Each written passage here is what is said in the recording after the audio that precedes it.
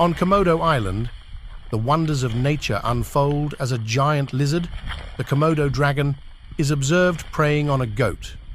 With its powerful jaws and sharp claws, the Komodo dragon ruthlessly dominates its prey. This sight provides a stark illustration of the inevitable natural cycle in this unique habitat.